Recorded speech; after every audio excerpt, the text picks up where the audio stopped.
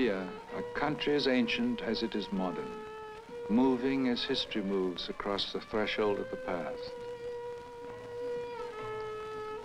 For 5,000 years, wave after wave of the peoples of Asia have streamed across India's borders.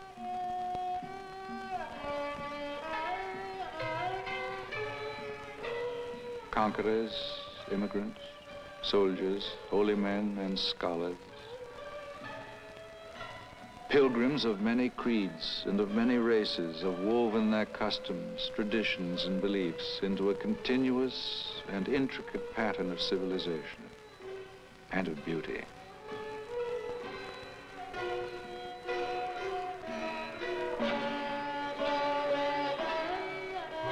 They have farmed and they have fought. They have loved and they have prayed. They have thought and they have played. They have built monuments and palaces and temples and cities. They have written poetry and they have sung songs for 5,000 years.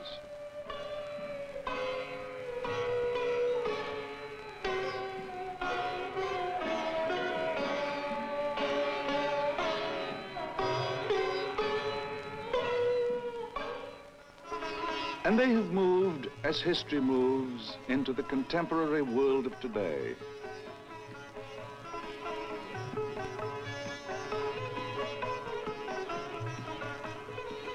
Delhi has been called the city of seven capitals, the seat of power of seven ancient dynasties. New Delhi is now the seat of power of India's democratic republic.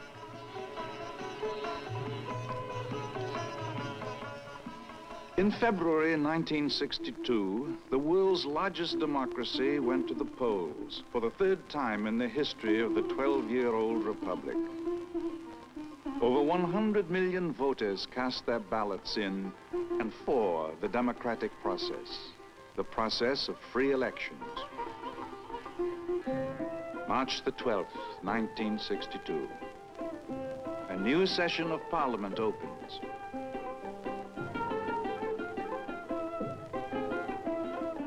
Dr. Rajendra Prasad once more takes his place.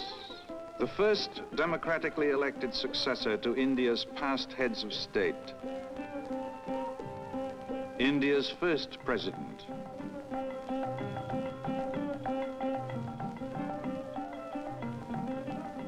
Also on this day, March the 12th, 1962, India, her people, and Prime Minister Jawaharlal Nehru expect a visitor.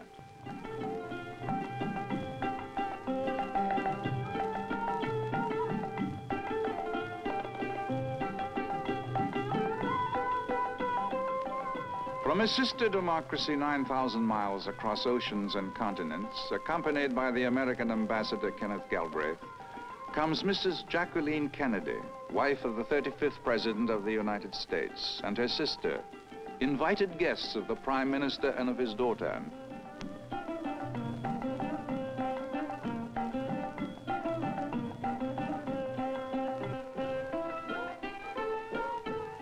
Mrs. John F. Kennedy, a lover of the arts and the mother of two young children, brings to the people of India the greetings of the people of her own country, also a people of varied backgrounds and customs, of many faiths and races and beliefs. The United States Embassy in the center of New Delhi, combining modern architectural techniques and ancient Indian motifs, reflects the new world and the old and the long-standing friendship between our countries, between the United States and India.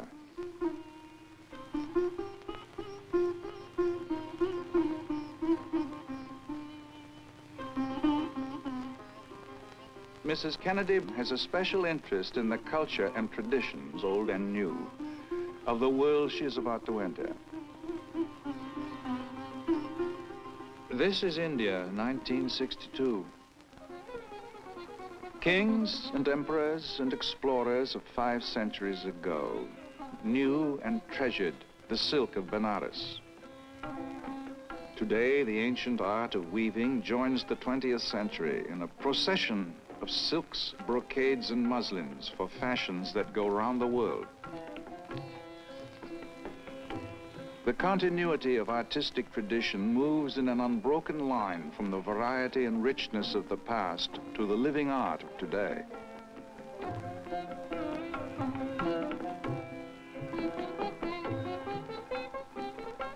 Art reaches across many barriers, makes many friends.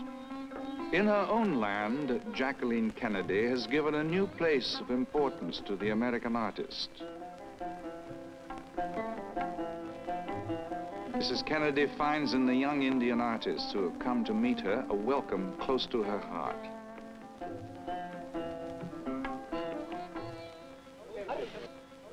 Mrs. Gandhi, my friends, it, it gives me great pleasure to present to you today the Children's Art Carnival, a present to the children of India. I've often noticed the art of children is the same the world over. And so, of course, is our feeling for children. I think it is good in a world where there's quite enough to divide people that we should cherish a language and an emotion that unite us all. Thank you.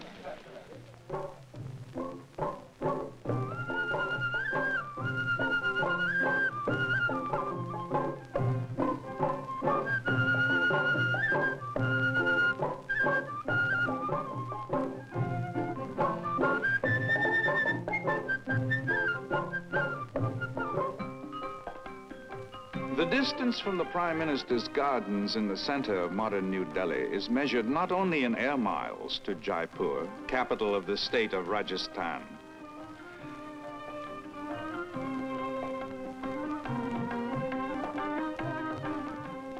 It is also measured in years, taking the American visitor on the first step of her journey into India's past, to the land of the Rajputs, of warrior and prince.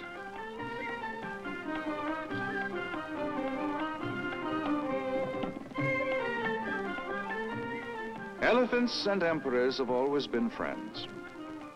The rocky road up the hill to the Amber Palace was once traveled on the lumbering backs of elephants by Raja Man Singh I and his retinue of court followers 350 years ago.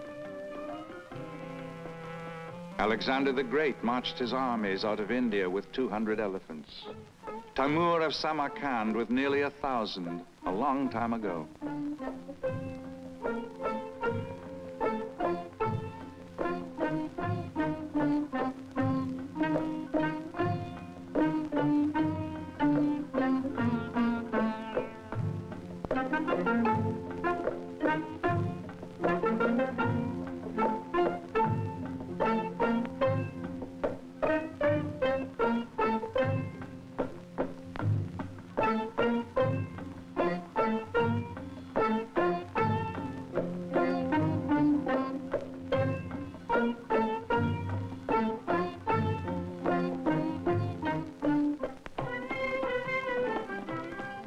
Maharaja Sawai Jai Singh looked out from the terrace of the palace his fathers had built and saw the pleasant plains below.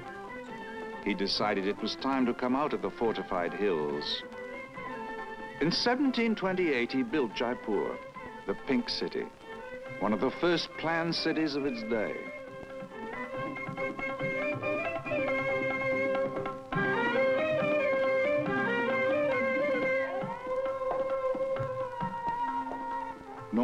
Of discontent, if there were any, were allowed to reach this monarch's ears in the courtyards of the city palace or the corridors of the Hawa Mahal, the palace of the winds. Maharaja Sawai Jai Singh was a scientist. He preferred to think about the shape of the earth, the universe, and the stars. Mrs. Kennedy's journey continues back into time. Another city, another age, another monument. The year 1569.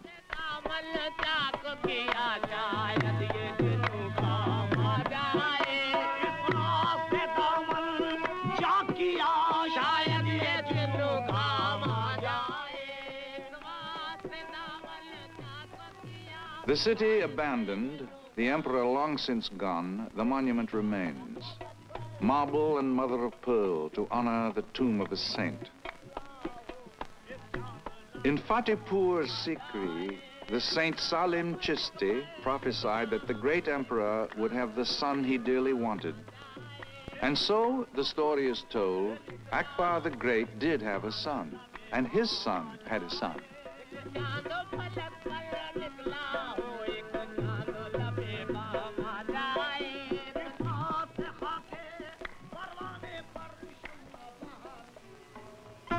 Monuments of India's historical past do not, however, belong to the past. They belong to each new day and to the people who live it. To priest and to scholar, to merchant and villager, to neighbor, to stranger, to friend.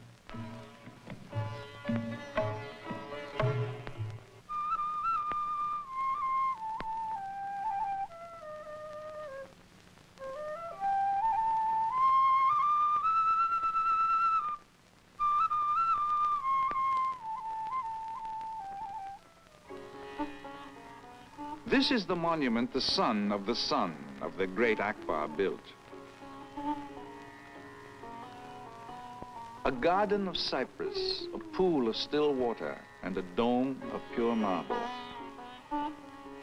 Behind a pierced marble screen, Emperor Shah Jahan entombed the body of his dead wife.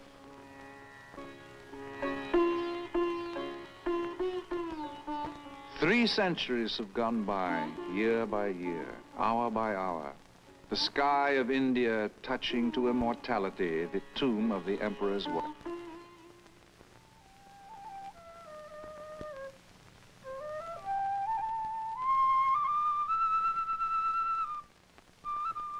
The Taj Mahal, an emperor's monument to love and to death. Benares, a people's monument as ancient as the sacred Ganges that flows along its banks. A people's monument to the life of India itself. To the holy city of temples and of minarets, to the city of the sacred river, and to nearby Sarnath, where Lord Buddha preached his first sermon more than 2,000 years ago, come millions of India's pilgrims, come India's friends.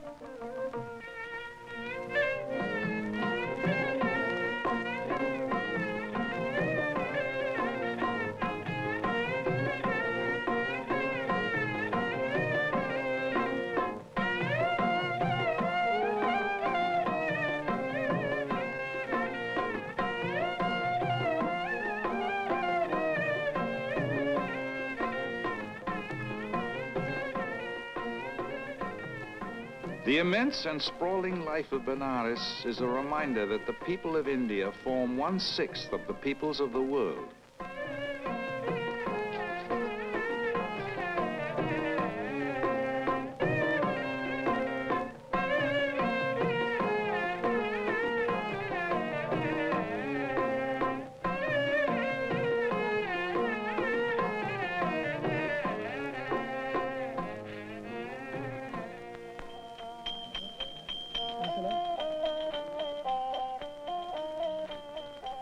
Furthest in time and in space from the start of the American journey into India.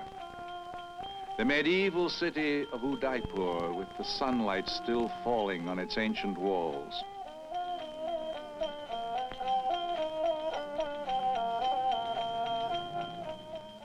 Moving towards tomorrow, the White City is already a seat of learning. And India's five-year plan will bring further means of economic growth and modernization to its people.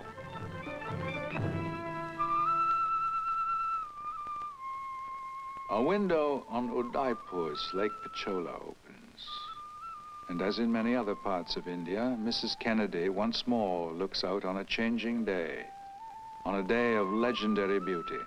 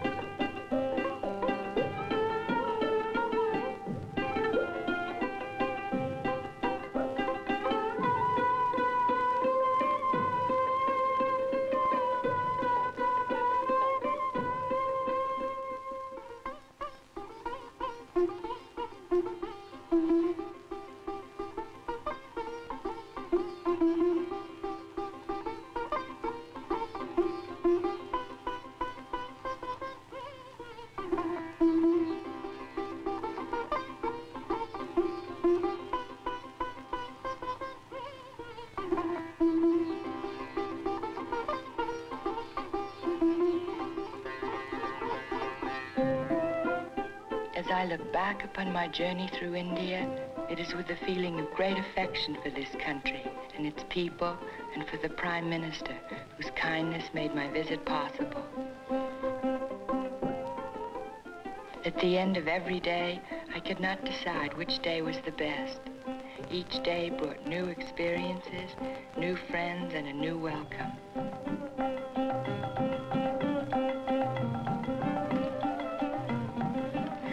Was a wonderful surprise to meet our own American pioneers of the Peace Corps so many miles from home. Going the unknown ways, in my husband's words, requires many gifts of character and a confident vision of the future. I believe that both the people in India and we in our own country share this vision.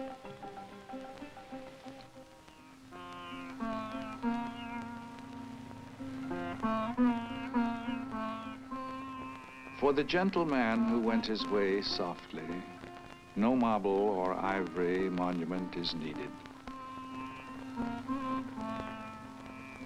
Strong in spirit as he was frail in body, Mahatma Gandhi's memorial is in the hearts of his people and in the thoughts of those everywhere who seek to maintain freedom and to secure peace. Mm-hmm.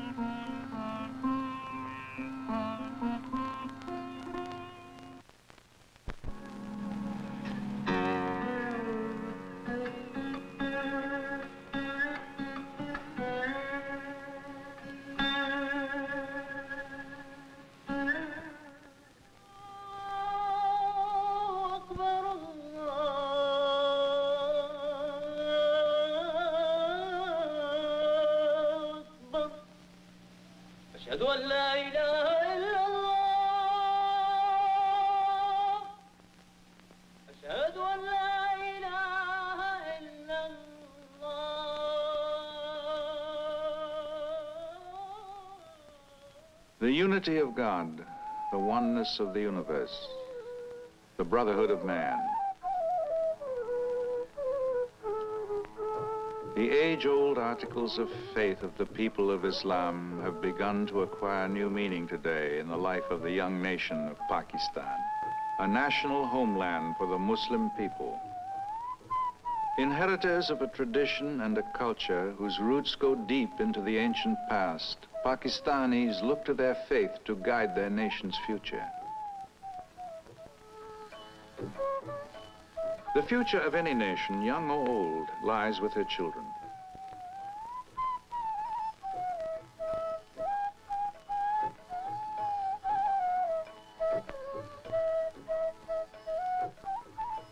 Two young children, Mrs. Kennedy knows what it means to bring a smile to the face of a sick child.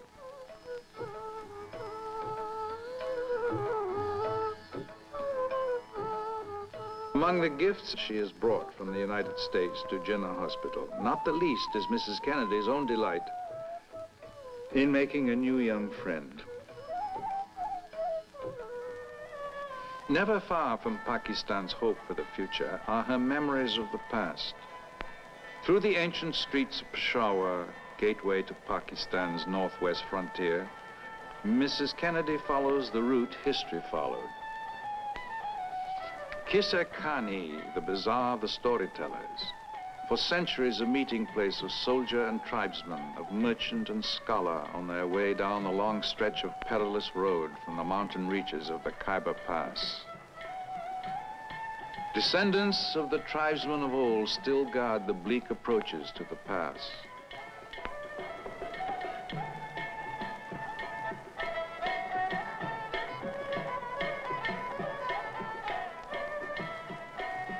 The tribal Maliks still welcome friends in the traditional way, with the traditional gifts.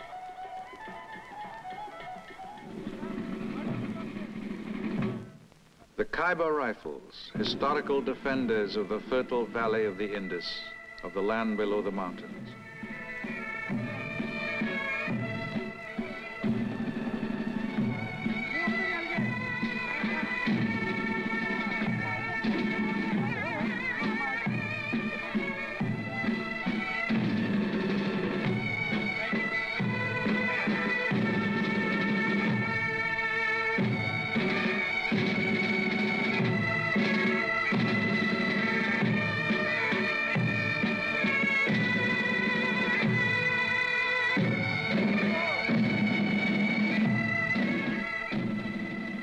After year, century after century, friend and invader traveled this road.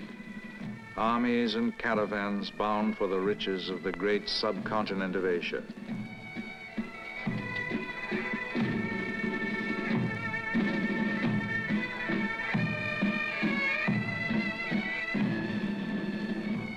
Darius the Great, Alexander of Macedonia, Genghis Khan, Timur of Samarkand swept down across these mountains.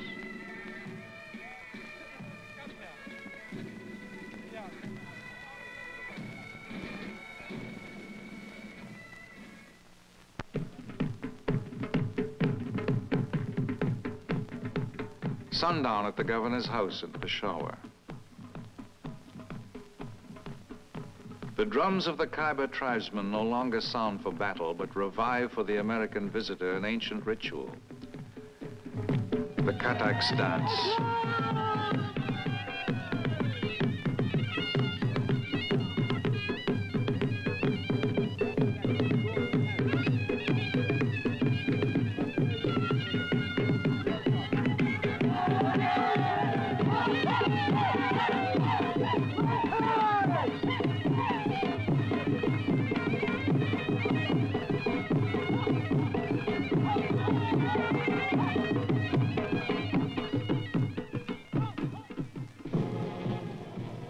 And ceremony of another day now mark the opening of a modern ritual, celebrating a young tradition in the ancient city of Lahore.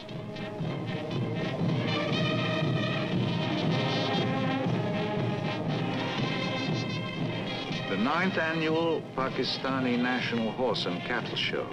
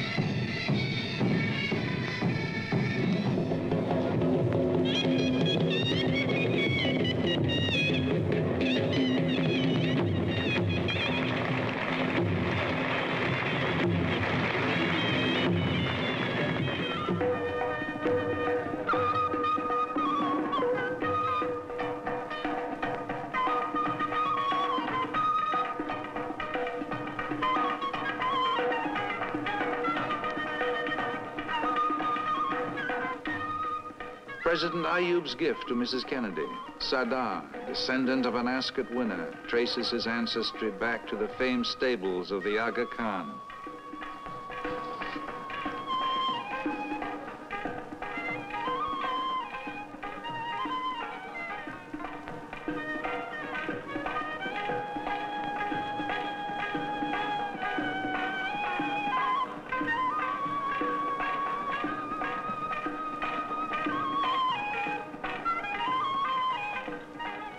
Gift from the President and the people.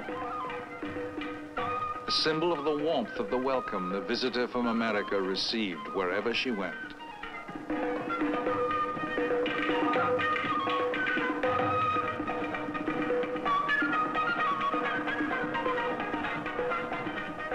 From Lahore to Rawalpindi, from Peshawar to Karachi. From the distant plains of Texas and the subways of New York are brought to Bashir, the camel driver, the good wishes of many Americans and the greetings of Mrs. Kennedy and her sister. Bashir has his own contribution to make to Mrs. Kennedy's visit to Pakistan.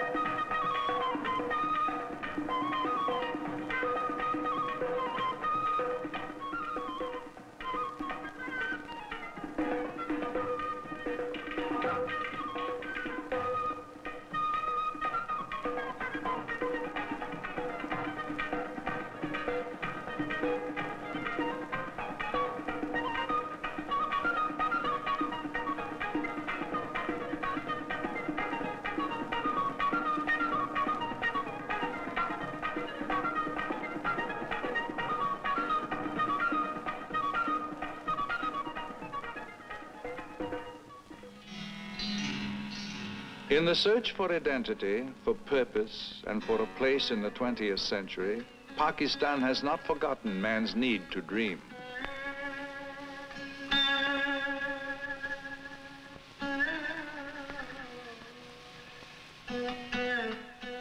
Over 300 years ago, the Shalimar Gardens brought repose to a Mughal emperor. Today, the gardens offer repose and delight to anyone who seeks it.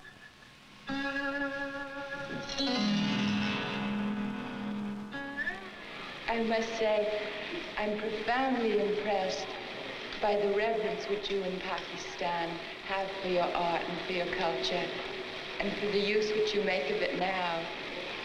My own countrymen, too, have a pride in their traditions. So I think, as I stand in these gardens, which were built long before my country was born, that that's one more thing that binds us together, and which always will.